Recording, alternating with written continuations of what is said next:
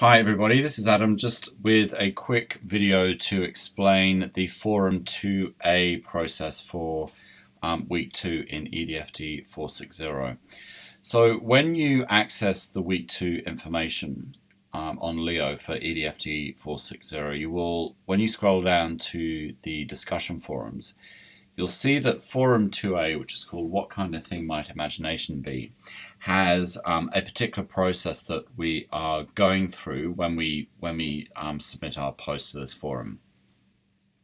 So you will see that as part of the virtual workshop 2, this forum is actually going to be graded, and it's going to be graded either participation satisfactory or participation unsatisfactory. And the reason for this is that the determining and defining what imagination is, and in week number three, what creativity is, is really important. And whilst we all have our own understandings of what imagination uh, might be, and those are beginning to emerge beautifully in the conversations that we've been having, there is also a wealth of literature that underpins imagination and definitions of imagination. And it's important as we continue through the unit that we're aware of that literature and we understand that literature and we're able to form a perspective about the literature and about the definitions of imagination and creativity that are put forward. So in Forum 2A, you're being asked to draw upon the literature that's provided in the, in the unit and to also source at least one of your own um, pieces of literature, or not, not one of your own literature, pieces of literature in terms that you've written it, but to source a bit of literature yourself that has some kind of definition and unpacking of imagination.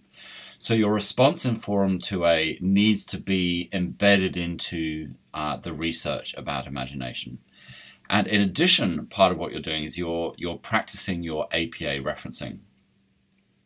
So the the forum post is is graded in the sense that it's either going to be marked participation satisfactory or participation unsat unsatisfactory. But you can have as many goes as you as you need to get to that participation satisfactory. So you may find that um, your post is is of a good enough quality initially for participation satisfactory to be to be added to that that post for your post to be graded in that way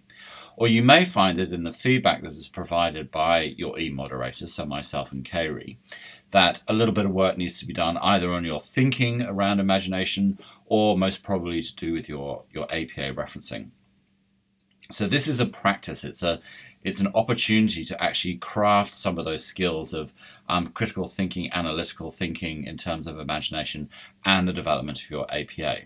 So if you get some feedback that says um, you know, the APA needs to be changed. All you need to do is respond to that feedback with a message that's got the the sort of recrafted APA referencing in, and you know, as long as the the referencing is then is then of a good enough quality, um, your your post will be you know the, your grade will be changed to participation satisfactory, and that then leads through to um, a successful successful completion of workshop two.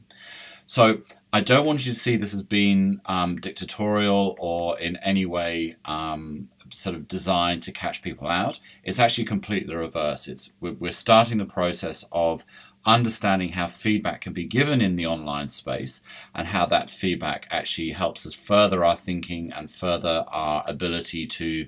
um, craft really good academic responses to some of these really sort of fluid and nebulous questions, such as